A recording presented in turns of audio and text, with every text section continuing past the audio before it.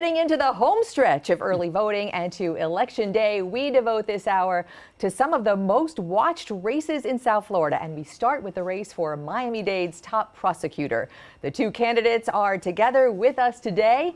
Katherine Fernandez Rundle, incumbent Miami Dade state attorney since 1993, running for an eighth term. And Melba Pearson, a former prosecutor in the state attorney's office for 15 years. Most recently, she has been the deputy director of the ACLU of Florida. Ladies, good morning. Great good morning. to have you on. Good, good morning. morning. Good morning, Glenna. Good morning, everyone. Thank you. And we are going to use first names here because both Glenna and I have known both of you for many, many years. Uh, Kathy Rundle, let me begin with a, uh, I think, a serious question that's going to be asked, has been asked in this campaign. You've been the state attorney for 27 years. In that time, you have never charged a on-duty cop with murder. There is one prominent case involving a prison inmate named Darren Rainey. He was schizophrenic. He was doing two years on cocaine possession at a state prison, South Dade. As punishment, two corrections officers put him in a scalding hot shower for nearly two hours. He died. It took you five years to decide that no charges would be filed. Why didn't you file against those corrections officers? Okay, a couple of things. Um, you know, when we watched that Rainey portrait, it really was very heartbreaking for so many of us to see that. But then, you know, when you look at the science of it, what a prosecutor has to do is rely on what a medical examiner says. In the state of Florida, state law says the medical examiner for that community, it is not related to me. The, the medical examiner is a separate, independent pathologist that conducted the autopsy on Mr. Rainey. And that determination by this expert, this outside independent expert, was that it was not a homicide, that there were no burns on his body, there were no burns on his feet, which would have supported the allegation that he was standing in a hot shower. Yeah, With Kathy, that, if I may, if I may interrupt you, let me just, if I may. Yeah. Uh, we know Dr. Emma Lew reached that conclusion. She's a fine uh, forensic pathologist. Uh, however, a independent uh, forensic pathologist was hired by the family, and they determined that, in fact, uh, there had been serious burns that had caused his death. Did you just so, ignore so those criminal, conclusions? In the criminal arena, there's a much different standard than there is in the civil arena. So in the civil arena, which is a lower standard of proof, and you can the lawyers that's what they do. They hire experts. They they get expert testimony to support their civil case. But in the criminal arena, our burden is much higher. Our, our ethical obligation is much stronger. We have to be able to prove a case beyond a reasonable doubt based on the evidence. Kathy, and the, the evidence was, the evidence, excuse me, the evidence by the doctor, the chief pathologist for our community, who under the law makes that decision, was that it was not a homicide. My hands were tied. Kathy, you have used that argument, uh, be able to prove a case beyond a reasonable doubt, to talk about the criticisms of your office not charging on duty police officers with murders in several decades. I want to take this question to Melba Pearson. Uh, that actually, in context, is a pretty normal operation in the state of Florida. Only one police officer has been convicted in 30 years. And so using that standard as um, being able to prosecute a case beyond a reasonable doubt to a jury, how would you do things differently, seeing as the standards to prosecute uh, police officers criminally is very high and broad in the state of Florida? Of course. Thanks so much for that question, Glenna. So, at the end of the day, the prosecutor's duty is to make sure that you're seeking equitable justice for everyone. And there has been so many missed opportunities under my opponent's watch, including the Darren Rainey case, because I vastly differ uh, from her analysis of the facts. And also, it is very clear that a manslaughter charge could have been substantiated based on the evidence that was made available, including the medical examiner's report. So, what I intend to do differently, number one, is to create a civil rights unit. And in my civil rights unit, I will have dedicated prosecutors who only work on police misconduct and police shooting cases. Having been in that office and done the work, I know how it operates. Basically, you have your day to day caseload and your assignment that you have as a prosecutor. And then on a volunteer basis, you end up taking one or two police shooting cases or one or two hate crimes cases, that sort of thing. But Melba, so the, I, the question is really if the evidence does not rise to reasonable doubt, isn't there a, an ethical standard by which a prosecutor needs to meet to, to bring a case without that standard, is, is that an ethical decision?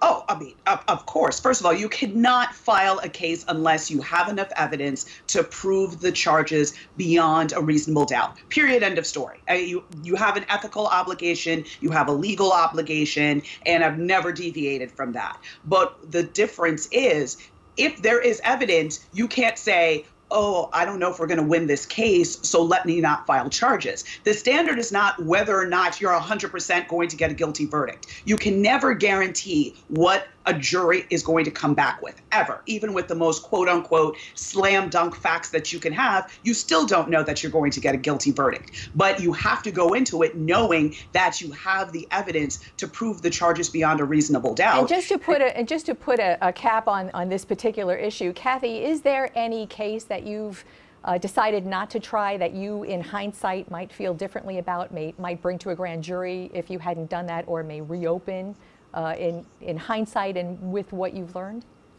Yeah, Glenna, uh, you know, we're, we're, the science, I can't argue with the science in the Darren Rainey case. It's just the science is what it is. But I want to go back to something because there's two things I would like to address, Glenna. One is my opponent has said before she would just take something to trial regardless. I'm glad to hear now that she's saying that would violate ethical, ethical obligations. Number two, we have the finest teams. Both looking, we have specialized unit that looks at all of these police misconduct cases, and and we we prosecuted over 500 police and correctional officers during that time. That's all specialized folks looking at it.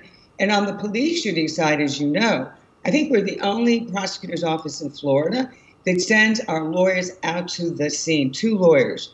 And they we have a committee they staff those cases, they work diligently on those cases. They're the best eyes, they're the veterans, the most experienced lawyers we have. And I call them the best team in America at that state attorney's office because they really do. So the notion that we don't have the best eyes, the best intentions, that we do the best investigations is just is is a wrong notion that my opponent keeps putting out. It's a bad narrative to say that about that wonderful uh, group, that team of hardworking men and women at the state attorney's yeah. office. Uh, Melba, you are the reform candidate in this race. Uh, you have said essentially that the state attorney's office, where you worked for 15 years, is ossified, it's stagnant, it needs to be shaken up. Give us an example or two of where you would shake things up. Certainly. So, first off, we have to start with how our young people are being treated. Uh, the unfortunately, the office has had a very horrible habit of direct filing juveniles. 96% of the juveniles that were direct filed, which is taken out of the juvenile system and placed into the adult system to face accountability, 96% of those juveniles who were direct filed for nonviolent offenses between 2014 and 2018 were black and brown kids. Now, that's a problem because when we want to make sure that justice is equal for everyone, when we want to make sure that there's no inequalities or disparate treatment, this clearly flies in the face of it, especially since we know no child has the monopoly on crime. So, first off, I would end the practice of direct filing juveniles, except if otherwise directed by law. Kathy, can you can you put some some context to that? Is that factual? And please put that in you. context. I, I, do appreciate that opportunity to clarify that because, again, it's a, a very twisted narrative that she puts out there. First of all, um, the police make the arrests. And secondly, we, got, we must recognize that we have something called juvenile civil citations. So I just want to put some meat on this framework. So civil citations is kids get cited instead of arrested.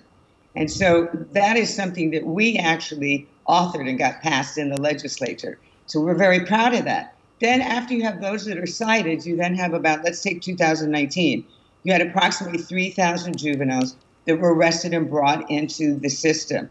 1,000 of those automatically are diverted.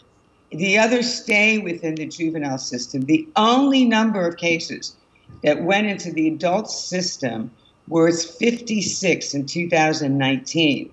So if you take the larger perspective of 3,000, you're down to such a small percentage. And yes, the law says it was mandatory um, transfer to adult court. Doesn't mean they're going to go into adult sanctions, but it means they're going to be handled and supervised out of the adult system. And you know what? King Carter, King Carter was shot and killed at six years old by a 16 year old, a 17 year old, and 18 year old. Yes, we direct filed on those children. All and right. you know what?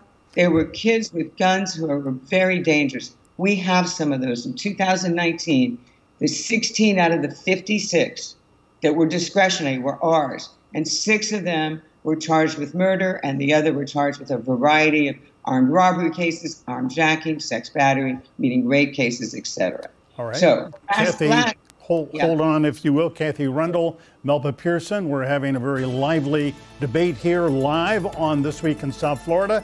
We'll be back with more in just a minute.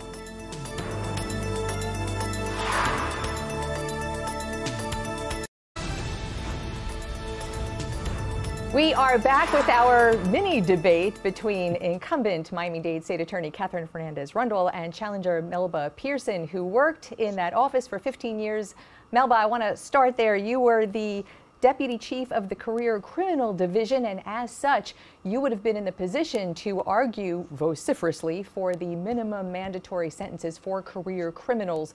Next job was as a deputy director of the ACLU, where uh, an organization that is advocating eliminating those severe minimum mandatories. Where do you stand now on that? Certainly. So first, I need to go back to one thing that my opponent said. When I made the comments earlier, I stated very clearly I was looking at the data between 2014 to 2018 having to do with nonviolent offenses. My opponent spoke about a whole different year, 2019, and spoke about violent offenses, which was not what I was addressing. So I just want to make sure that that's clear. Going back to your question, Glenna, uh, I am opposed to minimum mandatories in many cases because of the fact that that they result in often disproportionate outcomes. When I was assistant chief, I usually waived minimum mandatories for the majority of cases if there weren't, you know, some ex- exacerbating circumstances that would have required that scheme. But we also have to appreciate not everybody views cases in the same way. So we have to make sure that we're being equitable. And again, one group of people doesn't get a disproportionate impact in comparison to other similarly situated people. So that is why why I'm definitely advocating for a, a definite change in minimum mandatories and focusing more on restoration, rehabilitation, using techniques like restorative circles that have proven to be very effective in other jurisdictions yeah. in reducing violence and reducing recidivism. Uh, Kathy Rundle, um, this morning, the Miami Herald, and here is the editorial page of the Herald, gives you a recommendation, but it's kind of lukewarm. Here's what they say at one point this is not a full throated, unequivocal endorsement of the incumbent, of you. Uh, her 27 year tenure has been at times flawed, at times infuriating, at times befuddling. She can and she must do better. What would you say to the voters of Miami Dade County, many of whom probably agree with that assessment? Well, you know, absolutely, we can always do better. All of us need to always be self examining um, self-reflective. Communities change, problems changes, and so do we as a prosecutor's office. So over the course of my career there, in, in, in addition to putting together an outstanding team that leads that office, one of the largest in the United States, 1,200 employees, over 300 lawyers, over 55,000 criminal cases, and, and, and we have a child support enforcement division that does about 80,000 cases and collected over $182 million last year, we know that we can't stay static. And so, what I and our team do is every year we create something. We're either changing how we do business, we're innovating programs. And so, if you look over the course of those 27 years, it's not perfect for sure. And we make tens of thousands of decisions. and we realize that many times people aren't going to understand the decisions, and at least 50% of the time, someone's disagreeing with us. Kathy, However, Kathy, if you I- look at I- the larger picture, Michael, Yeah. you will see that there have been a number of very important, great innovations, such as our as our sex trafficking unit, our mental therapeutic courts, veterans courts, drug courts. These are all alternative pathways to incarceration We, that we have created. we understand, uh, excuse me, Kathy, we understand you run a really big, complicated operation. Here's just one spe- specific follow up here to what you're saying. In both the um, uh, Rainey case and in that of Edward Foster, the Homestead man shot to death five years ago, you have sometimes had these cases which go on for years without a decision. We understand the courts of justice sometimes is not always swift, but why does it take your office so long in some of these cases to reach a conclusion? Well, um, those two cases, I would consider them outliers. I do not consider them to be the normal average case. And they were one, the Rainey was too long because the really, for a whole bunch of reasons, you all know it's a 75 page report. It's on our website. You can go look at it. But really, the medical examiner didn't make its determination until many years later. I believe that's accurate. In the Foster case, one of the reasons, unfortunately, that it's taking so long is that we're trying to work with the defense counsel and the family every time there's a new witness. We try to attempt to get them so that we get all the evidence to make a decision, not on 90% of the evidence, but on all the evidence. But again, having said that, those are outlier cases.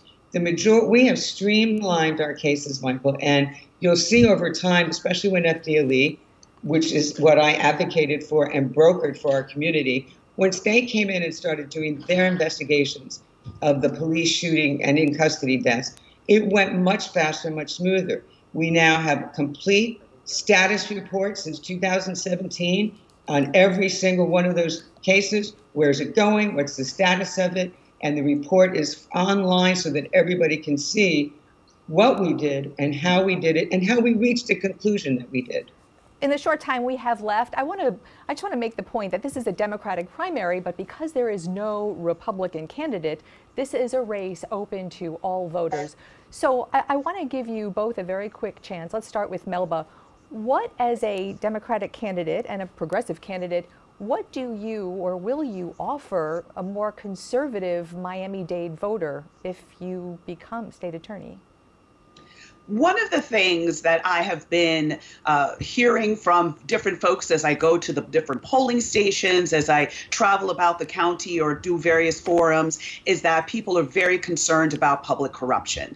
And that is something that really concerns conservative voters. And even conservative voters have a lot of concerns about policing as well, as evidenced by the diverse coalition of people that are out protesting and raising their voices around this, these issues, as well as maybe not protesting, but posting on social media or writing op-eds. So it is clear that the community is concerned about these issues, and I am the person to take this office into the next, you know, eight years, 12 years, take things into a new direction and really implement the great practices that have been going on across the country. I will say this, my opponent has built a foundation but I intend to build a house and really make things better for the people of Miami Dade County. If they want to see a change, if they're dissatisfied, as so many people have expressed, they're dissatisfied with the way things have been going for the last 27 years, it's time for a change. The people demand change, and I am the person that represents that change. Kathy Rundle,